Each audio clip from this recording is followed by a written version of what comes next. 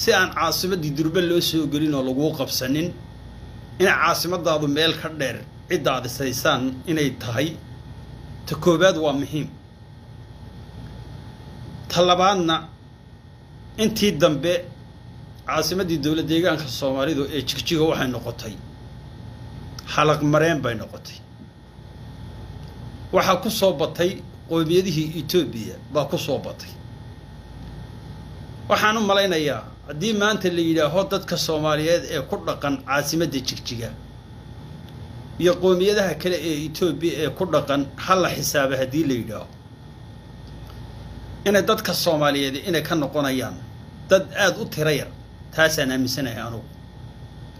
Waqti hadda muddo dheer laga joogo oo dhowr iyo toban sano ka hor lagu meelahaas adugu toban iyo waxoogaa way gaadhay haddaynan adigu intuu cabdiilay hayay xilkii uu ka sii dhammaanayey markii ugu dambeysay uu doorashadii ku ceshaday waa waktigii waddanka intaa dib ugu laabtay oo xanuun gabar xanuunsan iyo oon waddankii ku celiyey.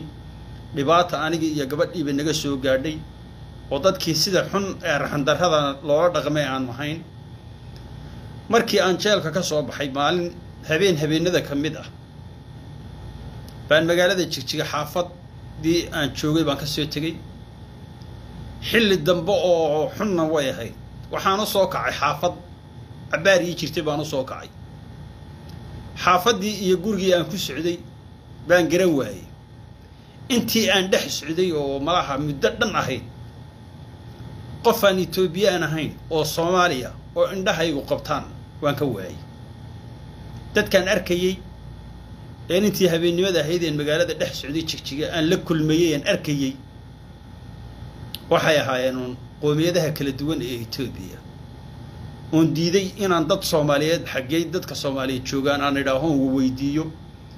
Oo anigoo mar dhaweydun jeelka ka soo baxay inaan mar labaad jeel galo oo la yidhaaho nin caasimadiisiiba kala garan la oo dowla deegaanka soomaalida sheeganaya meeshan maraya in la yidhaaho oo la isoo qabto anigoo ka baqanaya baan habeen dhan muddo dhan baan waxaan dhex wareegayay jigjiga anigaioo wax islaam ah oo soomaali sheegta baan ka waayay. Marka meesha sidaasa ee dadkii lahaa ay u hadiyeeyeen etoobiya waxaan u malayn inaynan in caasimad laga dhigo inayna fiicnaynba. Waxaan arkayay oo kale dhalinyaro aan xitaa mar dhoweyd mid aan soo dhigay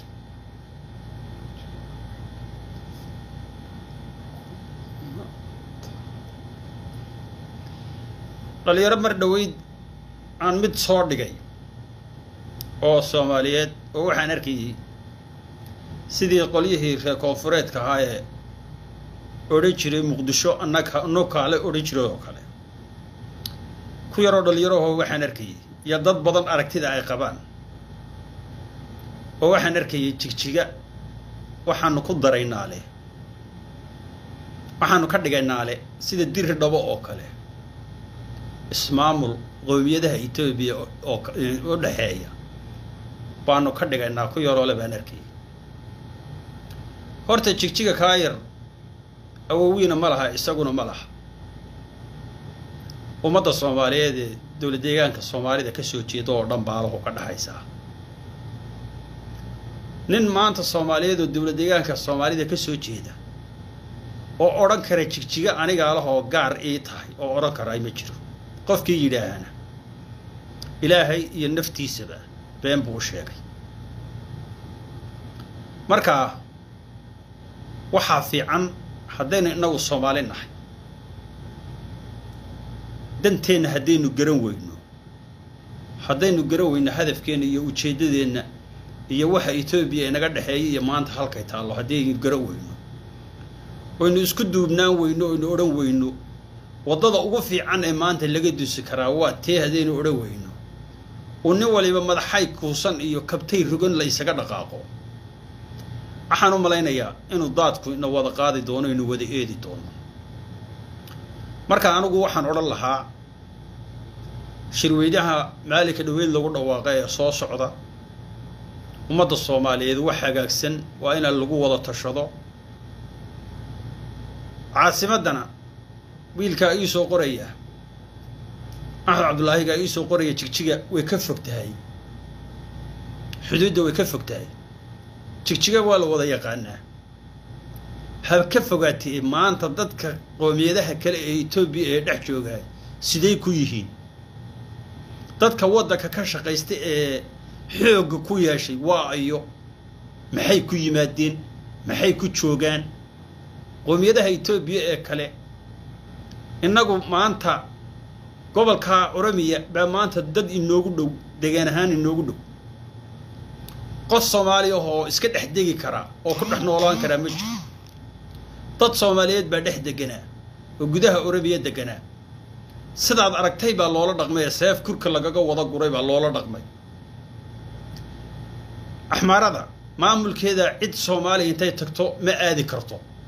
Kumana noolaan karto hal habeenna kuma noolaan karto maxaa innaga dalkeenni maxaa innaga ka dhigay? Timir xabaaltaale maxaa ka dhigay? Waxaa ka dhigay dadka soomaaliyeed aragtida xun leh ee nin waliba calooshiisa iyo uurkiisa la ciyaarka ah. Uu nin waliba wuxuunan hayn ismoodayo uu naftiisa uu been u sheegayo. Uu nin waliba leeyahay meeshan annagaa le meeshan dowlad deegaanka soomaalida maanta dowlad baa ka jirta. Dowladdaasina tu aynu innagu soo dooranayna ma aha. Tu aynu ku qasbannahayna weeye innaguna maynaan soo dooran? Haddaynaan aragti fiican oo soomaalinimo a yeelanin haddaynaan xaqeenna iyo xuquuqdeenna iyo dhulkeenna iyo diinteennaba sidaynu u wada difaacan lahayn iyo soomaalinimo saxan haddii la waayo? De nin aan eedi doonin ma jirto. In kasta oo maantan aan maamulu ka jiro oo maamulkaasna cid maanta siday doonto isaga dhaqmi karto oo siday doonto isaga hadli karto oo magaaladaas iyo dalkaasba maanta dhibaatayn karta oo oon maamulkaasu wixii uu go'aamiye aan ahayn oo kor kaga iman kartaana ma jirto.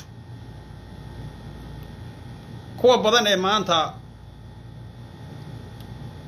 mustafe xilkaa laga qaadayaad ahaya anigii oon intii dambe mustafe aan taageersanayn markaan xaqiiqada ka hadlo mustafe innaguna maynaan keensanin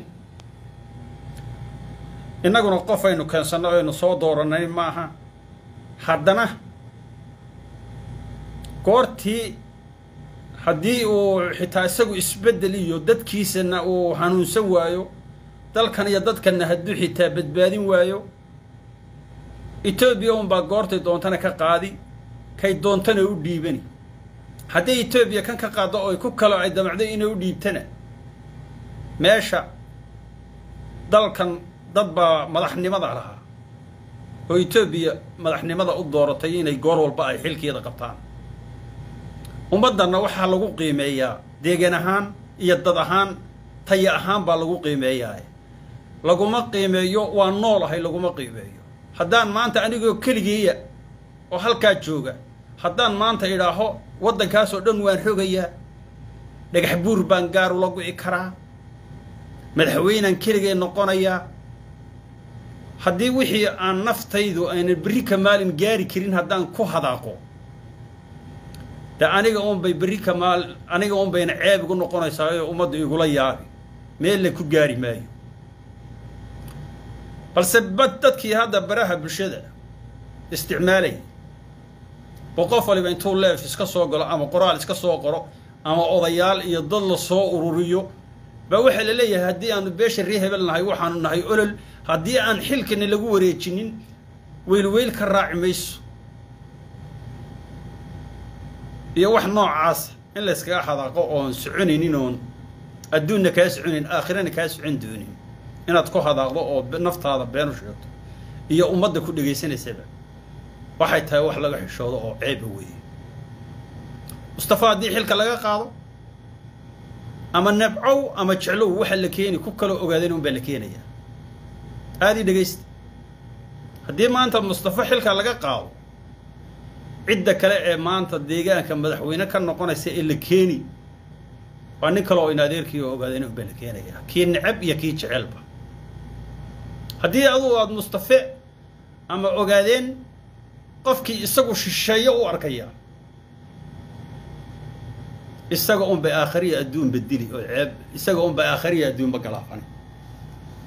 Mustafe haddii maanta laga qaado ama maadday baa la keeniba ama ku kale oo ogaadeen baa la keenaya. Kii dilaacay iyo kii gaalkii dhalay la cadaabayaba xaqiiqadu taa weeye. Waxaan arkaya daa'id ajiri iyo dhalinyaro badan oo odayaal maalin dhaweyd hadashay oo jid waaqahay fikirkoodii la dhacay. Oo leh haddii mustafa laga qaado waa inaanu xukunka si deg dega biduuni shuruud inaanu xukunka ku qabanno labaan arkayay meeshan adeer ma aha. Meel ruux waliba xilka uun iska qaban karo ma aha. Ummaddan majority ahaan baa lagu qiimeeyey dad ahaan iyo dal ahaan iyo degmo ahaan iyo gobol ahaan bay ummaddani ku qiimaysan tahay. Xaqiiqada marka laga hadlayo weeye haddii maanta mustafa xilka laga qaado ku kaloo ogaadeen unbaa imanaya. Kaa kale ee yimid ee mustafa ka dambeeyey haddii xilka laga qaado ku kaloo ogaadeen unbaa imanaya. Kaa haddii laga qaado adduunku intuu jiro intuu waddankaasi gumaysiga haysto cidda madaxweyne deegaanka ka noqon doontaay waa cid ogaadeen un weeye kii igu diidan iyo kii igu yeelayaba. Kii igu diidanna adeer isaga cirka roob ku oga cirka biyaha ka keena adeer. Ninkii isagu waddanka degmo gaarih iyo gobol gaara lehee odhanaya ama gambeellaanu la geli ama xabashi baanu la gelina adeer berri maantaba waa la joogaayo orodoo intaad waddanka tagto meeshaad adigu gaar u leedahay ee ilaahay ku siiyey eed boqor ka tahay orodoo calan gaara intaad ka taagto. Waxaad tidhaahaa baaqir state baa la yidhaahaa ama magac u bixiyo calan ka taag. Midnimadu haddayna dadka wada deeqin wanaaggu hadduuna dadku wada deeqin walaaltinimadu haddayna dadka wada deeqin kuwa badan oo le baan maqlay. Weliba wiilka yareen hadda soo dhigay. Iyo rag badan oo intii dambe hadda baraha bulshada aan ka arkay. Hanjabaad bootadii reer xamarka baaba dadkii lagu dhameeyeyda. In laysu booteeyo oo baraha bulshada horta baraha bulshadani waxaan innaga aan dhibaato iyo ceeb ahaynba inaguma keenin. Qof walba oo qarsoonaa qof walba oo wax ku jiray qof walba oo dhibbanaa baa baraha bulshada soo galay oo hooggiisii iyo waxa ku jiraa la ogaaday.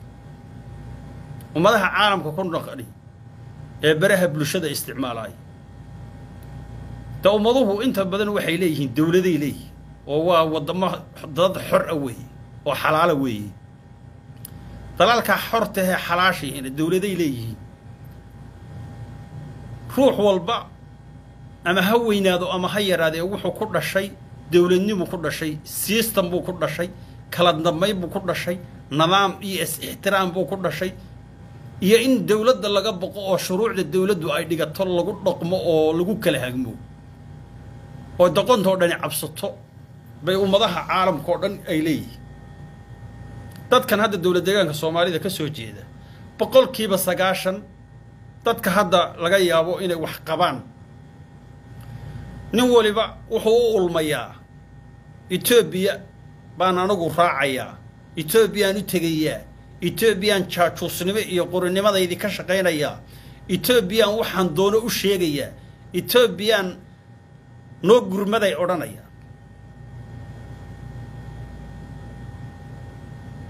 etoobiya maxaa idi siisay qarnigan maanta la joogo waxaan gubaysi iyo ciil iyo daranyo iyo foolxumo aan ahayn oo idinku reebtay miyaad garanaysaan? Degmo walba iyo gobol walba maanta waxaa jooga dhulkeennii qoomiyadaha etoobiya kalaa jooga. Walaaltinimo kuma joogaan. Islaamnimo kuma joogaan.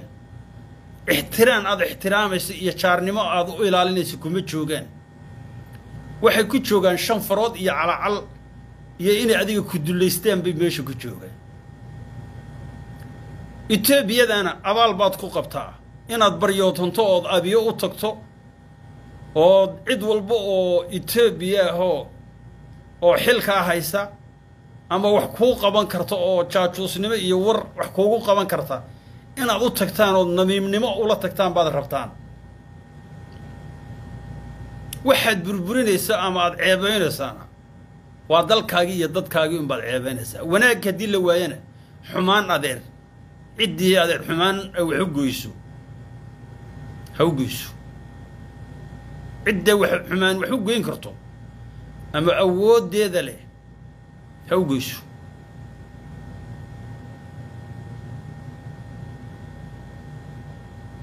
Inaa baraha bulshada un laga nacnacleeyo oo la iska aflagaadeeyo aad baa looga fiican yahay. Haddiise aad ama aada hanjabi ama aada odhan xil baan qaban ama ad odhan awood baan leeyahay ama ad odhan intaydan qoomiyadeedblo wax ku darsanayaa awooddaad leedahay adigii oon waxba nacnalaynin bannaanka soo dhigo oo ha lagu arko. Xaqiiqadu taa wey dadka soomaalida ah inta badan walaalow walaalow walaalow walaalow iyo baryada way eetaa soomaalidu isba baryada way eetaa iyo inaad tidhaaho walaalow waxaan waynu wada leenahay. Wixeenna aynu wada ilaashanno. Gubaysi baa ina haysta. Caasimadii dowlad deegaanku maanta wataas. Way quruntay.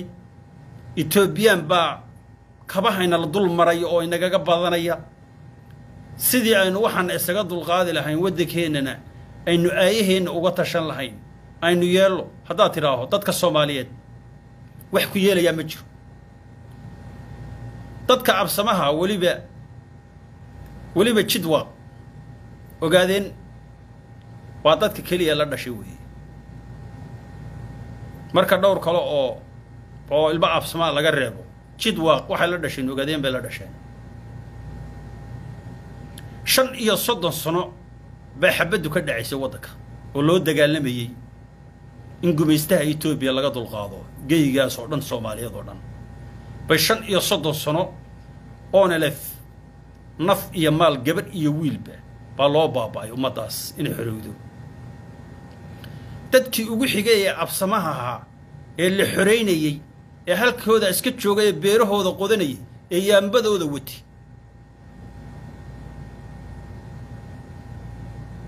gabari ka afqurmin gabadh aan ka dhimanin. Maanta intay halkaas ka soo wada baxeen odayaashii waxay ku leeyihiin mustafaanu xil ka qaadaynaa iyo cabdi ilay baanu shalay xil ka turnayo kana wuu raaci doonaa. Oo mar haddii uu jid waa kaco mustafa cagjarna way u dhammaatay. Aqliga soomaalidu aqliga soomaalida markaad eegto aad baad ula yaabaysaa oo waxaad odhanaysaa niyo maadaa waalan. Mise dadku aqligoodu waa sidanaad odhanaysaa. Cabdi ilay ma tuurin jidwaaq intuu meel ka soo baxay oo meel xabad ka riday uu meel cabdi ilay kaga mudaharaaday gudaha. Ah cabdi ilay meesha kagamuna tegin. Cabdi ilay iyo dowladdiisii waxay ku dhacday. Ururkii oonalefee baaxadda badnaa. Iyo ururadii kale ee ka jiray etoobiya ka jiray. Iyo qoomiyadihii etoobiya oo dhan oo wada kacay. Iyo dowladdii cabdi ilay iyo dowladdii tigreeda oo meesha joogay. Qoomiyadihii etoobiya oo dhan baa ku kacay oo burburiyee reer jidwaaq la yidhaahaa intay soo baxeen. Hal maalin xabad meel kamayna ridin. Hal maalinna gudaha dowlad deegaanka soomaaliyeed intay soo baxeen xabad kamayna ridin. Weligoodna annagu maanaan arag. Xabaday meel ka ridayaan maanaan arag. Run ahaan marka la yidhaaho. Iyo tayo ay meel ku leeyihiin oo ka soo baxeen annagu maanaan arag. Se ummadihii etoobiya oo dhan oo kacay bay dowladdii hore ku dhacday. Bal cidda maanta intay awood leedahay ay reer sheeganayso bal ama dowladdaa ridi karta ama wax samayn kartaa orommadu waxay tidhaahaa furduu khuni khuni bay tidhaahaa orommadu faraskiina waa kan marka la tartansiinayo faraskiina waa tan waa kan diridiina waa tan. Farduquni diroqoni weeye bal adeer ninkii awoodhaya ee ee ku halqabsanaya shalay baana cabdi ilay ridnayow. Adduunka anoo keligeeya baa markaan arko iyaguyoo leh shalay dowladdii cabdi ilay goortii aanu ku kacnay eenu dulmidiid la baxnay baanu ridnay maantana mar haddii aanu in cabjar ku kacnay wuu dhici doonaa bay ku leeyihiin kumayna xisaabtamin iyagu adhisababi iyo meelahaasay day baryayeen marna ay tireedii baryayeen marna ay baryayeen abi axmed baryayeen. Kumayna xisaabtamin boqolkii kun boqolaalkii kun ee qoomiyadaha etoobiya ahaa ee wada kacay iyo oromadii kiirada ahayd ee ugu daadatay meel walba t b elaftii baa dowladdii hore ee etoobiya riday kumayna xisaabtamin. Cabdi ilay waxaa riday qoomiyadihii etoobiya oo dhan oo kacay iyo ururkii kiirada la odhan jiray ee oromiya oo dabka u golay baa riday marka dadka dhadhawaaqayo meelaha ka dhadhawaaqayo markaan xaqiiqada laydii sheego een runta anagu weliba idii sheego haddii mustafa cagjar meesha uu maanta ka tago qofka kale ee xilka qabanaya nin ogaadeen unbaa xil qabanaya. Soomaalida kale ee deegaanka joogto oo dhan haddii la isku ururiyo wallaahi wa bilaahi wa anaa idii dhaaranaya qof aan ogaadeen ahayn unan xil ka qabanayn una madaxweyne ka noqonayn dowla deegaanka soomaalida. Haddii maanta laga qaado mustafa hadduu maanta mustafa meesha ka tago maadee unbaa qaban ama nin kaloo in adeerkiiya oo ogaadeen unbaa xilka qabanaya. Wuxuuna ku qabanayaa dal ahaan buu ku qabanayaa taya ahaan buu ku qabanayaa gobol ahaan buu ku qabanayaa degmo ahaan buu ku qabanayaa majority ahaan buu ku qabanayaa bal waxaa kale adigu ku qaban ii sheeg majority ahaan ummadda kale kuma qabanaysid. Xiniyo aad fuusho iyo cabsi etoobiya ay kaa cabsanayso ood xabad ridaysaan ku qaban maysaan. Bal waxaa ku qabanaysaan ii sheegay idinku. Etoobiya ma taqaano. Jaajuusnimo ma taqaano iyo war iyo waxyaalo la soo xugugufo oo meelaha intii laga soo ururiyo loo geeyo waa laga yaabaa warkii intay kaa qaado inay meel dhigato. Uu galo waa laga yaabaa. Waa etoobiya waynu naqaanaa. Balse hadduu warkii galo oy kaba qaado mustafa cajar ka qaado ninka kale u dhiibi nin ogaadeyna un weeye taa niyada geli berrina sidaasoo kale un baad uga cabaadi. Haddii ama walaaltinimo aynan aadan ilaalinaynin ama soomaalinimo aadan ilaalinaynin ama lafahaaga iyo dhulkaaga iyo dhaqankaaga aadan ilaalinaynin ama sida aad ku noolaan lahayd haddaadan yeelaynin inta aad nin walowba maanta joogow aad ka nooshahay adduunka aad ka joogto waddankaasu hadduu gumaysigaa ku sii jiro cidda ku xukumi doonta ee mar walba madaxweynaha kuu noqonaysaay qofaan ogaadeen ahayn toddoba ab iyo toddoba isir bay uga xaaraansan tahay inuuna abiyana keeni karin qof kale oo etoobiya yimaadaana uuna keeni karin. Haddaad ku fadhiyaysaan ood ku iimaan qabaysaan wixii ilaahaydi siiyana quman. Haddaydan ku iimaan qabayninna adeer cirka intaa salaama ka soo samaysataan. Adeer buur ku fuulo idinku. Dowla degaanka soomaalidana anu nin degmo yar iyo gobol meelaha qaarkood yala waa laga yaabaa in la helo oo soomaalida kale ah caasimadda dowla deegaanka soomaalida ee jigjige een anugu hadda lahaa goday ha loo raranaa haddii la yidhaaho jigjiga yaale haddii la yidhaahana adeer boqolkiiba sagaashan iyo shan cidda ka noqonaysaa ogaadeen weeye ama diid ama leef adeer. Meel walba oo maanta dowla deegaanka soomaalida anigu adeer waan kuu factirsani. Intaad adeer aad guri ku leedahay iyo intaad dad ku leedahay ee kuu jooga keenso waa lagu tartami. Xabashidan iyo cid walba ood leedahay anugu waxaan ka dhiganayaa. Ismaamul baan ka dhiganayaa oon soo dhawaysanayaa aad leedahayna adeer dhebi baabaan kaga saari. Shalayba jigjiga intii aynaan dowlad deegaanka soomaalida uuna jirin ee qarniyo hore ahayd. Baa sidaasoo kale absama mar isnacay. Absamaa sidaasoo kale mar isnacay. Dhinacan kale waxaa soo jiray soomaalida kale iyo iyo waxaa soo jiray bartire ama jidwaaqoo dhinaca kale isku haya. Baa soo xigay oo jigjiga joogay markaa oo ceel jugjug la odhan jiray oo dubi jiray waxaa jugjug jigjiga loogu bixiyey baa halkaas laga cabbi jiray. Ceelkii iyo jigjigaba waxaa qaadatay oromaa qaadatay. Nimankii gaallaha la odhan jiray baa jigjiga qaatay. Goortay jigjiga qaateen nin aan u malayn inuu wiilwaal ahaa baa wuxuu tegey carro ogaadeen buu tegey iyadoo markaa la isnacay oo la salaamin oo la wada hadlin buu wuxuu tegey carro ogaadeen buu tegey. Markuu carro ogaadeen tegey baa la yidhi war maxaad rabtay? Wuu hadli waayey. Usbuuc dhan buu hadli la'aa war wiil waalow hadal shib. War wiil waalow hadal shib. Wuu hadli waayey. Odayaashii ogaadeen baa isugu yimid oo waxaa la yidhi waxaanu xiliya kitaab intaa kugu maraynaa waanu xiliya kitaab kugu maqashiinaynaa. Wax walba oo maanta ku dhibayo oo kaa aamusiiyey haddaad noo sheegto murna ha ka qaraaraartee inaanu ooda jebinayne noo sheeg baa la yidhi waxa ku aamusiiyey heerkaa ku gaadhsiiyey wuxuu yidhi absabow anigu waan jabay. Absabow waan jabay jigjiga waa la qaatay.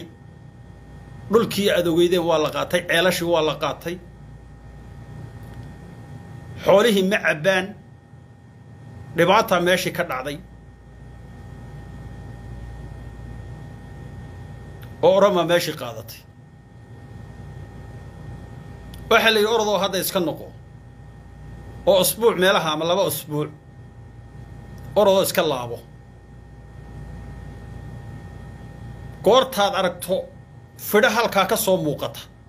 Goortaad halkaa aragto fidho ka soo muuqata. Waxaa ku haya fardihii fardo awliyaad baa ku haya. Goortaad aragto fardaha halkaa boodhka ka soo socda aad aragto dagaalka gal baa la yidhi. Wiil waalow. Sidii baa dhacday laba usbuuc meelaha ku dhowaad markii la joogay buu wuxuu arkay ila waagii hore taleefana ma jirin isgaadhsiintan iyo waxaan ma jirin maanta lagu wada kibree baa wuxuu arkay bodh halkaa ka soo kacaya oo uura isgoysaya farduhuna markay aada u badan yihiin aad bay u boodhin jireen oo dhulkay dee saasi u goosanayaa sidii gantaal lagu dhuftay oo kale.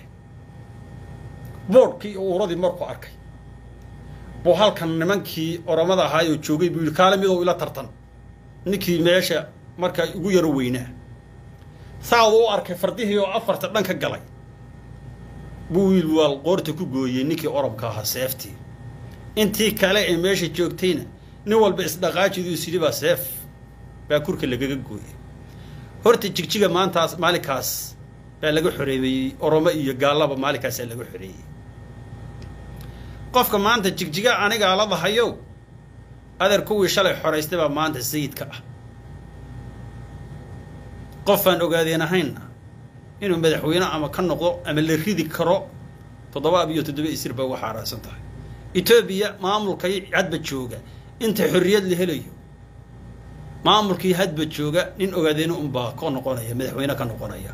Ama si xun haydii wado ama doonta si fiican haydinku wado ama haydila qallibiye kaasunbaa adeer sayidiida ka noqon marka xaqiiqada laga hadlayo en been laysu sheeginayna naftaada aadan waalayni weeye anigoos maanta waan odhan karaa waxaan ahay boqor waxaan odhan waxaan odhan karaa dhagax buur baan gaar u goosan baan odhan karaa. Waxaan odhan karaa waddanka weligayba keligayba ahayn karaan odhan karaa. Waxaasuna waxay igu noqonaysaa been iyo waxaa naftaydii ku waalay bay noqonaysaa. Bal maanta dad aan tiraba lahayn hadday maanta yidhaahaan gobolka ama waanu rogi ama annagaa madaxweyne ka noqon oo sayid ka noqon haddii kale waxaanu ku dari gaalaanu ku daraynaa.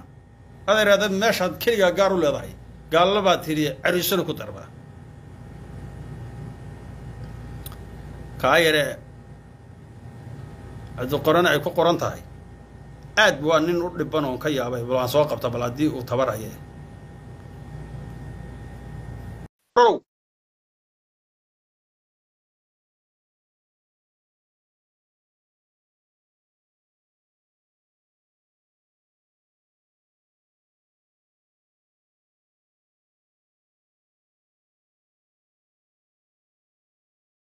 tuur baa layleeyaha waa ballan adeer inaan tuuraa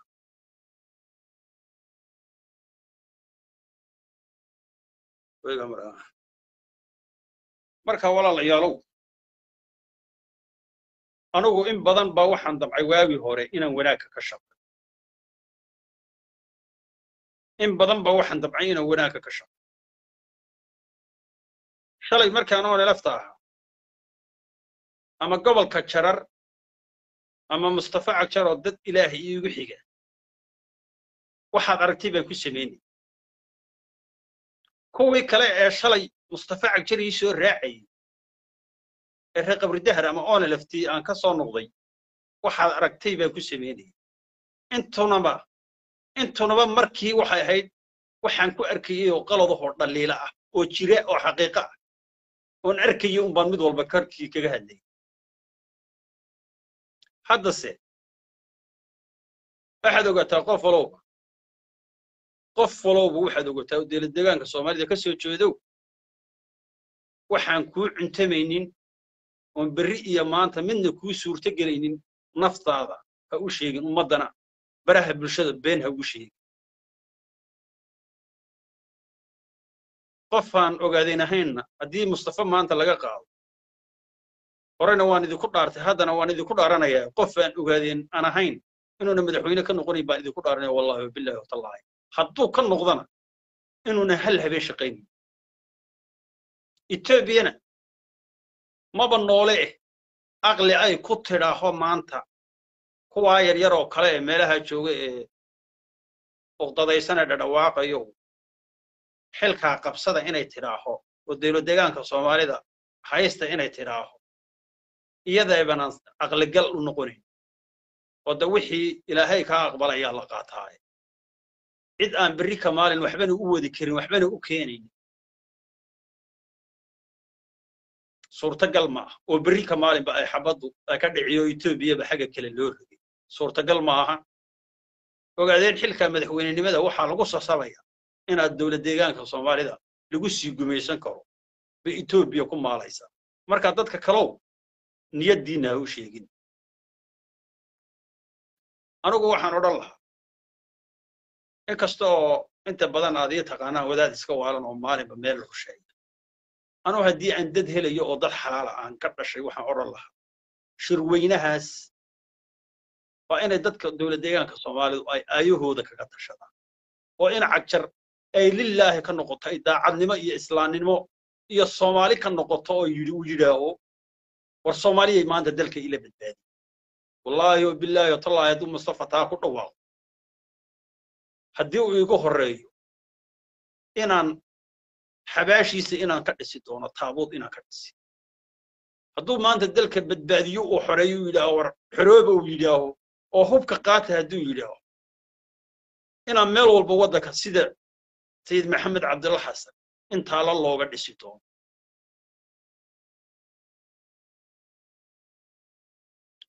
Waxaynu jecel lahay waynu ognahay balaayo kalaa ina haysato oo mar walba meel waxu ka qaldan yahay dadka inta badan ee xalaashii way garan laadahay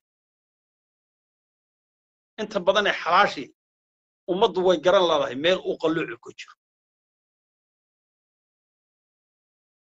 Mustafa cagjar hadduu anaga imaqlayo hadduu dalka iyo dadka lexe jecle ka leeyahay hadduu doonayo aakhariya adduunba inuu sharaf iyo karaamo ku noolaado hadduu doonayo hadduu dhintana uu doonayo inuu ummaddiisa samcad iyo magac uga dhintay hadduu doonayo. Intuu oonalef iyo adeerkii maadi iyo gacmaha qabsado iyo maxamed cumar cismaan iyo ila taliya yidhaaho war soomaaliyay dalka badbaadsida ha yidhaaho wallaahi wabilaahi watallaahiya inuu qof walba oo maanta neceb oo mustafa nece inuu xabaashiisa taabuud ku dhisi lahaa. Inaa weligiiba la hadal hayn lahaa.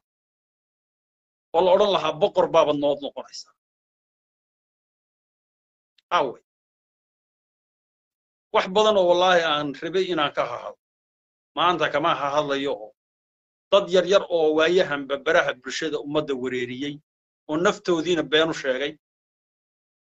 Waxayna qaban karin iyo waxayna noqon karinna dadka ku wareerinaya. Adeer bal ciddii maanta mustafa iyadu keligeed ridi kartaay.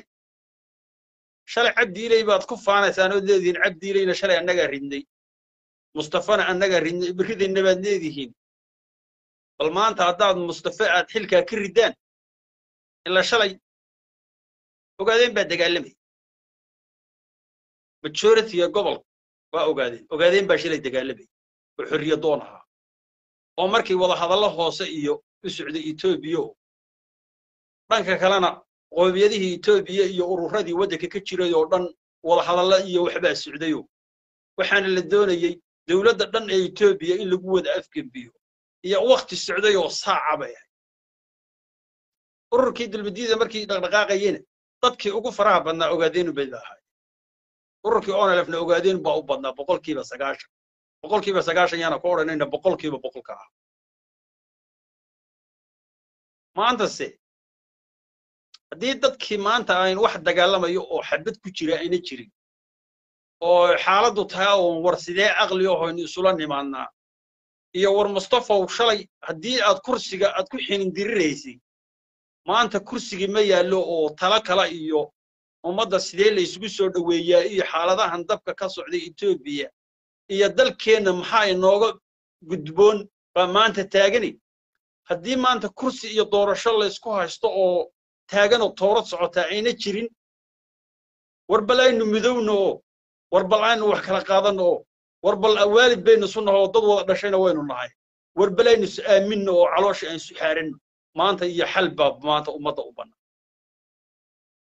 ciddii garan weydana adeer cabdullaahi yuusuf baa wuxuu waa yidhi dowlad baa dhalatay kacaana oo tii etoobiya dabada ka waday ee la ogaa ah haddana dadka soomaaliyeed waxay islahaayeen dowlad baa meesha ka dhalanaysa oo ururkii markii meesha ka dhashay ee markii dambe al-shabaabta u xuubsiibtayna ee meesha markii koonfurta haystayna markii lala dagaalamay cabdullaahi yuusuf waa la naxariistay wuxuu yidhi adeer waxaa da'aya buu yidhi roob baa da'aya buu yidhi roob roobkaasu da'ayaana wixii adeer la garan waayo daadkaa qaadi doono oo wuxuu ku dari doonaa buu yidhi badweynta.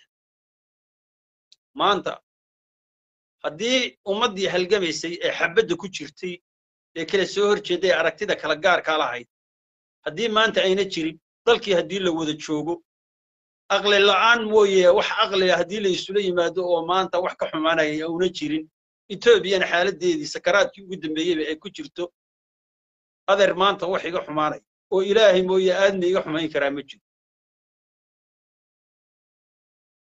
Ilaahay mooye wax maanta aadna iga xumayn karaa ama waxaan anigu iska xumeeyo mooye waxaan is leeyahay reer soomaaliyeed oo kale armu kaa xumeeyaa wallaahi wabilaahi watallaahi inuuna jirin hadday cidi faani karto cidi hadday faani karto anigaa faani. Cidi hadday ama awood sheegan karto ama ay odhan karto dalkaa la kala jarjaraya ama ay odhan karto meel heble waxay noqonaysaa ismaamul etoobiya ka dhexeeya ama qaladaad iyo dembiyaba ku hadli lahaa. Haddii cidi jirto faani kartahay. Cidda ku hadli kartaa ee faani kartahay. Adeer cid aan ogaadeen ahayn oo ka talin lahaysa ama ka ka faani kartaa wallahi inayna jirin.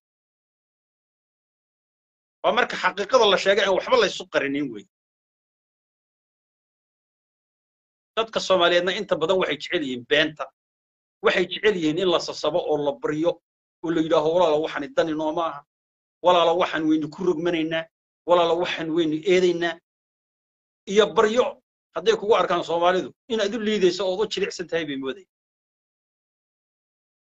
war ninkii dhib samayn karow adeer cirka intaad salaama ka samaysato ama ruush intaad soo gaxaysato kuwa badan oo le baan maqlayey kuwa badan oo lambal baan maqlay ogaadeen waxaanu isku ogey ina sanadkiiba ay dad gaarahi qabtaan xilka oo mustafa hadduu xilkaa ka tago in annagana loo dhiibo aqliga soomaalida waa kaas.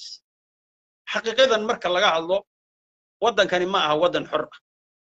Waddan laysku naasnuujin karo oo la odhan karo walaaltinimo qofka walaalkaa ah wax ku sii oo loo faragodi karo ma aha oo xor ah ma aha. Waxbaa kor looga soo yeedhiyaa? Wixii kor looga soo yeedhiyana cidda aad diidaysaan aad ka cararaysaana idinla dhalatay taasunbaa ilaahayna u gartay gaaladana u garatay. Marka walaalayaalow yaan isku ceeboobin. Haddaad isku ceeb doontaan wixii aad ka bedi weydaaya dhalinyarada baraha bulshada ku soo daaya wixii aad kharibi kartaan ku soo kharibe odayaasha soo daaya wax alla wixii qofa aad xumayn karto ee deegaanka ka xumayn karto xumeeya wanaagse haddii la rabo. Wanaagse haddii la rabo. Soomaalinima wax lagu dooni karaa. Iyo han weyn baa wax lagu dooni karaa. Ree hebel baa nahayo tuuladan aanu leenahay. Ma soconayso anigu maanta dhagax buur ma odhan karaa. Dhagax buur baan leehayoo waxaan ka dhigi karaa. Waxaan ka dhigayaa ismaamul qoomiyadaha etoobiya u dhexeeya. Ma odhan karaa qofka ugu horreeya ee iga agdhow ee meeshaa joogaa seef kulkaygaga goyna haddii berri nin kale xilka loo dhiibo oo mustafa laga qaado ma odhan karaa qofkaa daraaddii baan gaale ugu gelayaa ma odhan karaa ina qofka ii xiga ee markaa ag joogaa inuu seef kulkaygaga gooyo wey. Waa markay soomaalinima jirto wey. Meeshana ma aha maanta meel bilaa dawlada oo qof waliba siduu doono isaga dhaqmiyo wixii la doono la samaynaya ma aha. Ilaahay mahaddi maamul baa ka jira ciidamo ammaan baa ka jira awood waxaa jirta geeska africa maanta lagu faani karo.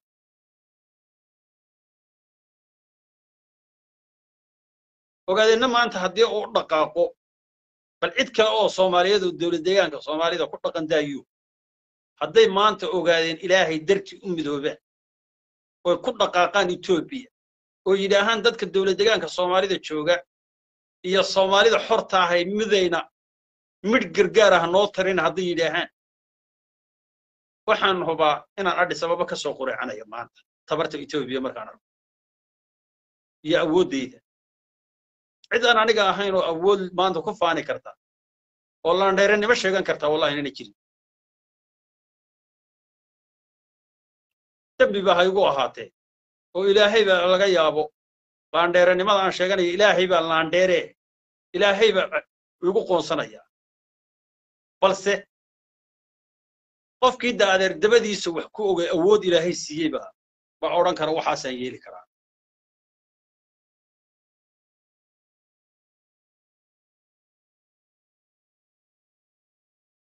Haddii aadan ilaahayba awood adoona ku siinin oo arbaca nafara oo xaajiyadba ku qaato wareerkaaga baraha bulshada laga fadhiyi waaye ceebtaada. Aakhariya adduunba way kuu diran tahay. Hadda odayaashan maalinka dhaweyd hadlaye ee jidwaq waxay ka hadlayeen. Hal wiiloo xil laga qaaday bay ka hadlayeen. Hal wiiloo xil laga qaaday bay ka hadlayeen. Way waxaasu samaynay xilkan ninna hooyadiina male aabbihiina male mustafana xilkan isaguna male aabbihiina male maalinba waa meerto maalinba nin baa jooga ninkii meeshaa joogay. Hadduu doono adeer ayle oon soomaali ahoo oon degin dowlad deegaanka soomaalida aana ku arag. Aylu hadduu doono mustafa uu ka dhigay. Madaxda ugu sarsaraysa oo dhan uu ka dhigay. Isagaa xoro cidna kuma jujuubi karto. Cidna uguma cagajuglayn karto. Jigjigana kor buu u kaaji karaa intuu shaaric istaaguu kor u kaaji karaa. Laandheere bannaan degay wey haddii buruq buruq iyo kibir iyo muran iyo waxaa la jooji waayena adeer waa la isu faac tirsanuuna ciddii gobolka ugu badata. Unbaa boqortooyada qaadan weligeedna haysan doonta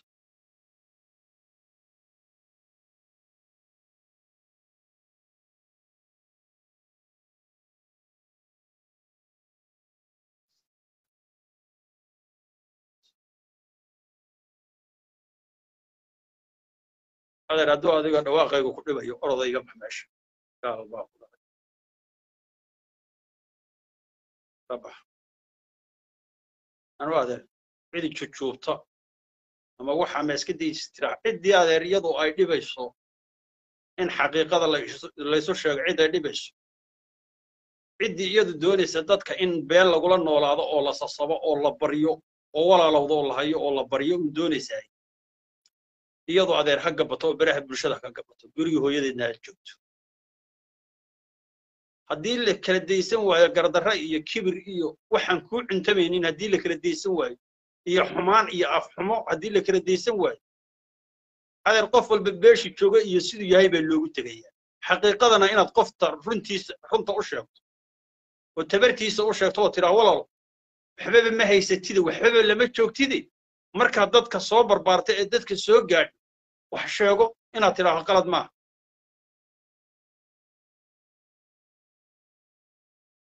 Hadda hadduu maanta dadka dowladdegaanka soomaalida jooga hadduu reer walba faano. Reer walba hadduu faanuu yidhaaho waddankaba annagaa leh. Reer waliba hadduu faanuu yidhaaho haddaanan xilka qabanin adduunkaa rogmanaya oo dusha un la iska daawado. De qof waliba wuxuu ismoodi ama reer waliba wuxuu ismoodaya adduunkaba inuu kala hayuu ismooday anigu maanta awooddayda iyo tabartayda ama dhulkayga iyo dadkayga iyo awooddu ilaahay siiyey anigu waan ogahay oo waan xaqiiqsanahay. Waxaanan ogahay shan iyo soddon sannana anigio hal beel ah oo soomaali ah oo weliba ogaadeen ah oo absan oo dhan igaga haray. Shan iyo soddon sano inaan xabad etoobiya isha kala dhacay iyadiyo gaalkii dhalay weliba soomaaliya oo dhan intaa ay lugta ii haysay bal waxaad ii sheegtaan halka reer ah hal reer oo soomaali ah oo dowladdegaanka soomaalida jooga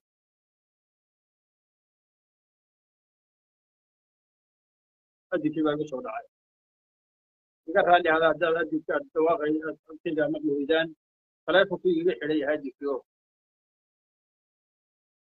bal waxaad ii sheegtaan dadka soomaaliyeed hal reer ah oo soomaali ah oo dowladdegaanka soomaalida oo maalin gelinkii etoobiya la culoobay ii sheegay.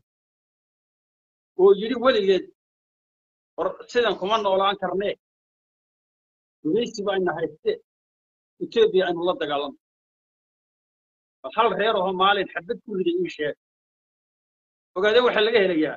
Iyagoo weliba ururka onelef intaas shan iyo soddon sano dagaalamaya haddana ogaadee waxaa laga helaya reero intay hubka gateen ciidamadii etoobiya ee gobolladeenna joogay ku fadhiistay. Oo dhowr iyo toban cisho ay xabaddu dhacayso markii dambe onolef ay dhinaca kaga dhufatay oo etoobiya sidii lagu burburiyey ciidamadii baa laga helaya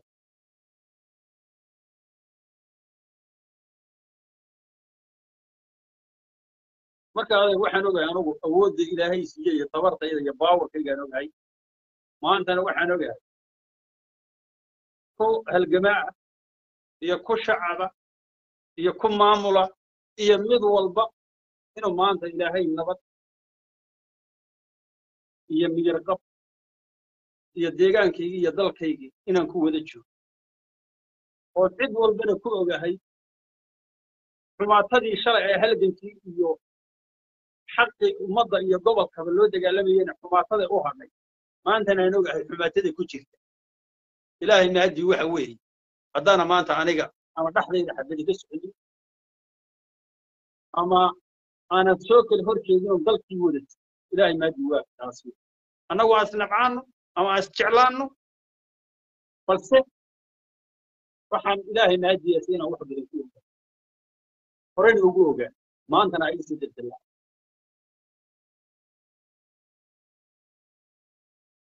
marka waxaan rabaa inaad sii sheer garaysaan ood iga gaadsiisaan anagoo shaksi waxaan ahay soomaaliyeed waxaan ahay shaksi aan maamul lahayn ururna ahayn laanqayrta asahoo madax bannaan wuxuu doono ku tufi kara wuxuu doono ammaanan kara. Xor a baan ahay oon maanta aanan ahayn ama urur baad ka tirsan tahay xeerarkii hayjirinin ama maamul baad ka tirsan tahay xeerarka xitaa maamulka ha jebinin qof aan lahayn oo ilaalinaya un baan ahay anigu dembiyada culculus ee deegaanka laga gelaya iyo dalka.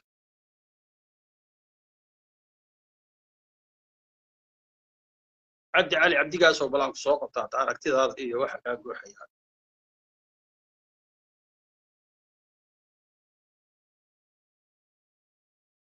Soo qabtaa hadda cabdi cali cabdi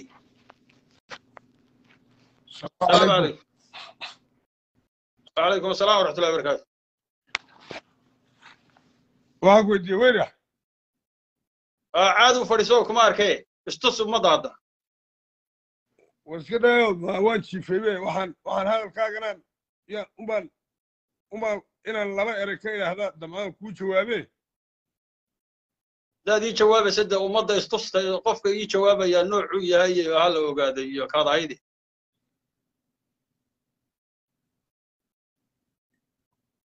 su'aal yar baan kaa weydiina waxaad tidhi ina cagjad cid ergi kartaa ima jirtee dulmdiidkan iyo reerkan ororda iyo waxane ma reer saaqinu meesha keligii joogaa doonaysa adigu raalli ka tahay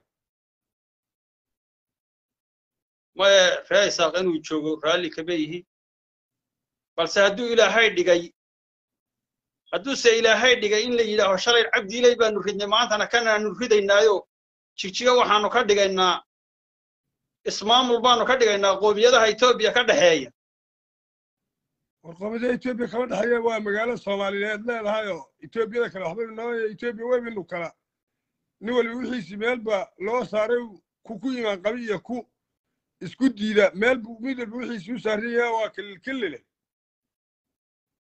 adigu horta bal ha gabanine qofka waxay odhanaya islaamku ha arkay bannaanka iskeenta ma ruux dumara baa tahay ina cagshar dulmidiid baa keenay dulmidiidkii eriyey in baana meesha ka saari kara. Cid kale oo wax ka dhe cid kale oo wax ka qaadaysaa ma jiro cidaan dulmidiid ahayna la socotaa dulmidiid baa keenay keenay buuna dibadda laa ilaaha umba- umba laa dibadda uga saari ilaaha ila allah boorso yar maxamad isagoo watoo rasuulallah dhukulan baan adisaba ka soo kaxeeyey allah adoo saaqa cabdiilaygii adoogeyda jumhuuriyadda ah baan diray maxaad u malayn adigoo yar oo sakaraadoo dhagax buur lagula leeyahay oo afar qofa war maada dhimanayn maada dhimanayninoo qof cudbi la gelinaya maadan ahayn islaamku adeeryeena kula yaabine. Ila dadku dad dhaga xidhan oo dad hadda dhashay dadkani ma ahee dadkani waa dadkii halgamayey waa dadkii intaasoo qarni. Meesha deganaa waa dadkii intaasoo qarni. Meel walba ku jira ee siyaasadda iyo dhan walba kaaga badnaa marka adeer waxa ayaan islaamku kugu qoslini. Ku- kuwii dagaalamayee Dulmadiid. kaafara balsaarigii iska derye yidhi adeer waxba meesha kama jirin war dulmidiid dulmidiid hal nin baa waxay ka joogay waktigii hal nin baa wuxuu ka joogay adhis ababa oo wuxuu ahaa ninka la yidhaaho khadar. Khadar garaad buu ahaa khadar. Khadarna wixii lagu dhigaya waa arkaysa ninkii fiidiyooyada koolka laga duubay ee af xabeeshiga ku hadlaya dadkaas ay dhalada haye buu ahay adeer hayna ceebaynine aga waryahay war weyna. War had eega anigiiba aniga waxaad leedahay maad cudbi lagu gelinayn adigiina eegan yaa dhex gashay waxba horta- barbaraya kor u baxa kor baxa adduunka u salaamaya ha odhanin ha odhanin sayana cagjar waxaa keenay etoobiya in cagjar keensatee ha odhanin dulmidiid baa koone ha odhanin adeer dadka soomaaliyeed way kula joogaan way ku maqlayaan wixii jirana- in- in waxa jirana adeer gaal iyo islaamba waa la og yahay weydiiyeen abiye yay weydiiyeen oo yaa meesha aan matala meena kanuun odhan oo inta wax lagu heshiiyey oo haddaba isagaaba meel isaga weydiis ilaahay baan kugu dhahay horta hadda baanu caadi baynu hadda aynu u wada hadlaynaayo. Horta aduma waxaa tahay nin jid waaqa baa tahay.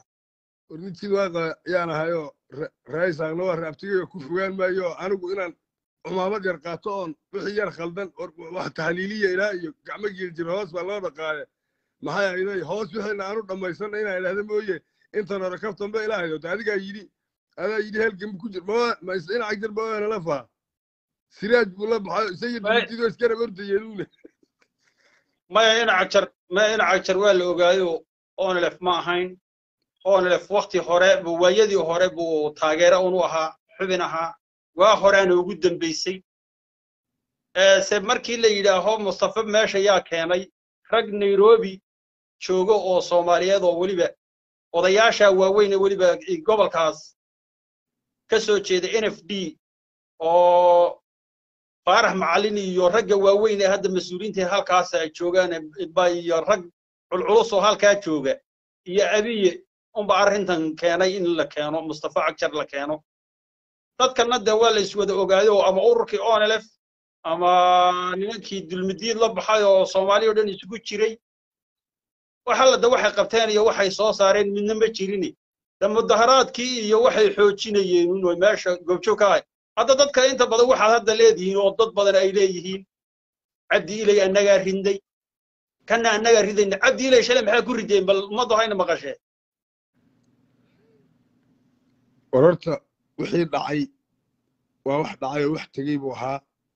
Cabdi ilayna wuxuu ahaa uun shaksi la mucaaraday oo muxuu ahaayey etoobiya oo meesheeda ka qaylin aynu inaguna qaylo bilownay ciddii eriday iyo ta ilaahay unbaa waxna ride waxna keene.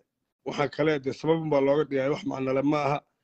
Laakiin cabdi ilay dad buu layn jiray laakiin xagga dadnimada isaga ka dadnimo badnaa kolkaynu runta isu sheegayno. Dilka iyo dadka uu baabiiyey unbu ku xumaa xasuuqaye dadnimo ma laha isku dadnimo ma aha. Ka laftigiisu nin xun ma aha yaanan caayin waa nin wax bartay. Laakiin niyahow shanqar baa u baxaysa dhinacay ka xigtana way uu garan layahay meesha intuu dir u dhiibay oo dadkii soomaali wadda soomaaliyeedii uu absamo baabi'iyey uu ogaadeen kolkii hore mid baan la maray. Yuu jid waaqina ku daray hadda. Marka waxay la tahay markuu dadkii waddanka lahaa uu minority ka dhigo adana waad garan ana laf waxaa guddoomiye aan ahayba la riyaalo xaamud oo laftaad ogeyd. Waama nebigeenna ciise loo rogay islaamu odhan jireen waamu ciise ka noqdaa oo laf guddoomiye? Jid waaqbu haddana eega ku celiyey oo iyuu raaciyey markaa nin reerkiisii baabi'iyey adigaa garan inuuna sii joogayn oo inta lagu kaco weliba hilfaha loo laabmi ogaa raisaaq baan wada taageersanayn oo qaarkood ka eed sheeganayaan. Marka dhinaca weliba labadii sano hore si fiican buu u maamulayay. Hadda waxaa kharibay nin.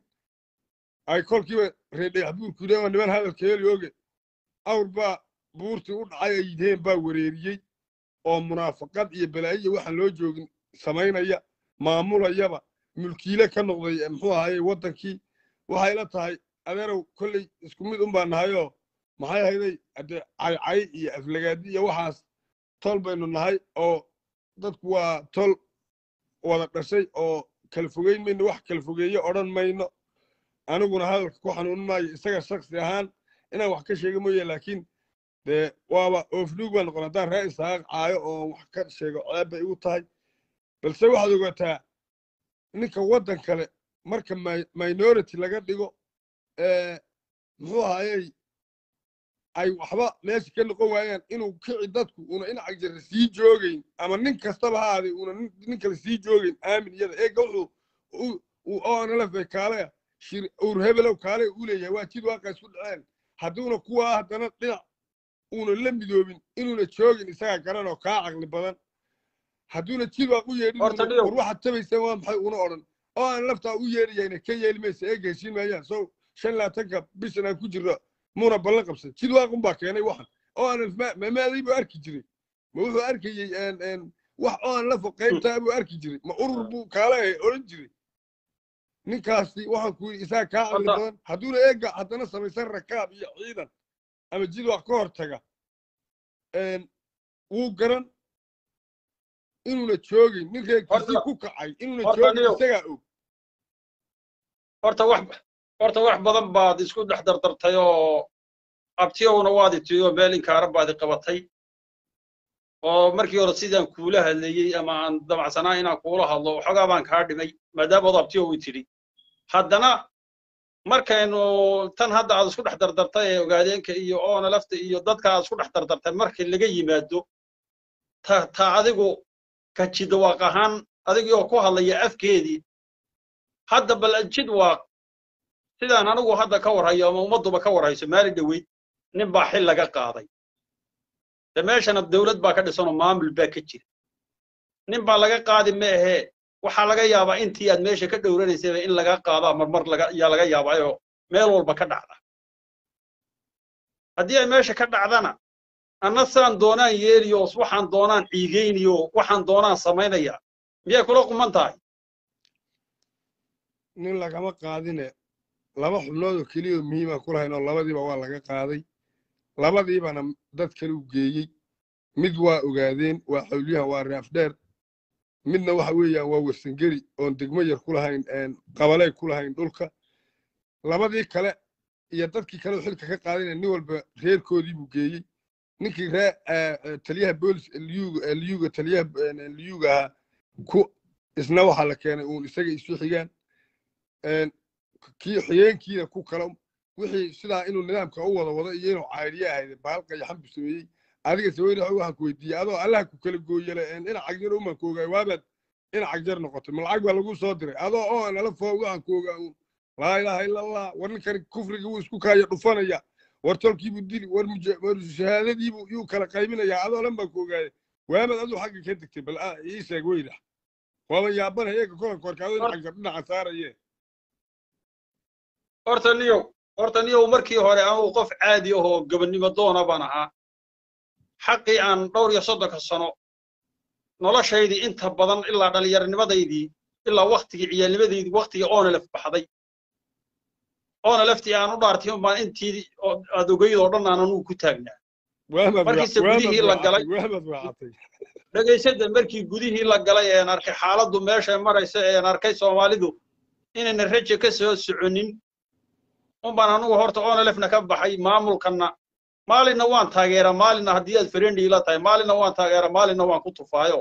Hadda intii city hadda dhalinyaro citya bayna dhegaysanaysa oo ninkaa calaga t b l f ay u geysay. Waa nin ka soo jeeda somali state ka soo jeeda weeyaan oo reer citya wey intii city dagaalka lagu soo qaaday ee la qabsaday maamulkan kabahan la dulmarayay. Anigu waxaan go'aansaday maadaama oon onlf ka baxay oo onlf maanta aanan ahayn inaan cadba ciddii aan is leeyahay way gar daran tahay oo qalab bay deegaanka iyo dalkaba ku wadaa ama mustafa ha ahaado ama maadey ha ahaado ama cid kale oo mas'uula ha noqotee ama reer is urursada ha noqotee anagu xaqiiqada inaan ka hadloon ummadda u iftiimiyo qaladaadka jira iyo waxaan soconayn taan baan anigu goostay. Anigu cidna waxba ima soo dirin? Qof sacuudi carabiya iska joogo oo birta qaniin qaniino oo xooggiisa uun maala baan ahay weligeyna risiq aan xooggayga da'da aan ahay risiq aan xooggayga aan xoog kula soo baxa aan ahayn. Weligay maana dhadhaminin xaqiiqada baan ka hadlaynahay adeerow haddii aan u soo noqdo xagga reerkan anigu waxaan odhan lahaa maanta balaayo ma jirto. Etoobiyana maanta xaalkeeda waa la arkaa. Maanta miyaad tihiin dad soomaaliya oo ilaahay dartii u kacayo oo le mustafana aynu ridno. Qoriga aynu qaadano oo dalka aynu xoraynana miyaad tihiin oo hal ruuxa ogol inuu ku dhinto dagaal. Aniga aabbahay waddanku u soo dhintay isagoona ana lafna ahayn magac soomaali weyn ku dagaalamaya awowgay wuu u soo dhintay. Boqolaal waxaad ka dhigtaan inta badan kolkan u dambaysa ee magaca laydinku diiday uun mooye. Horta soomaali way u soo wada dhimatay waddanka oo intaad ogeyd bay wsf la dagaalamasay waxa weeyaan kuwa xamar degan baa ku dhintay kuwa hargeysa joogaa ku dhintay bal kuwa gobolkeenna inala deganaa daaya marka dagaalku wuu soo isdaba joogtay unbuu ahaayoo uu isbeddel unbuu unbuu ahay oo aan lafta laftigeeda kuwa igaga dhintay baa jira oo aadan sheegin oo reernimo aad uga tagto oo aan laf ku biiray oonan anigu ogolayn inay on laf ku dhintaan oo ku dagaalamaan magac soomaaliyeed mooye. Oo markaa waxaan aaminsanaa on laftu inay magac reer tahay oo magac inaga dhexeeya uun ahayn. Haddana iyadoo sidaa tahay kuwo ku soo dhintay baa la heli oo aniga reerkayga ah oo xigtadayda ah mase ogid adiguyo kuwaagii unbaad sheeg sheegtaa kuwaa kale. Dee aakharana inayna janno gelayn baaban u malayn mar haddaadan adigu sheegaynin oo aad kuwiinii uun sheegi oo keligay baan ahaa aad leedahay. Soomaali haddaba way nimaan u soo dhiman gobolka ma jiro. Waxaadan ka dhigtaan wax aad keligiin u dhimateen. Intan dambaa keligiin aad dhimanayseen waxa weeyaan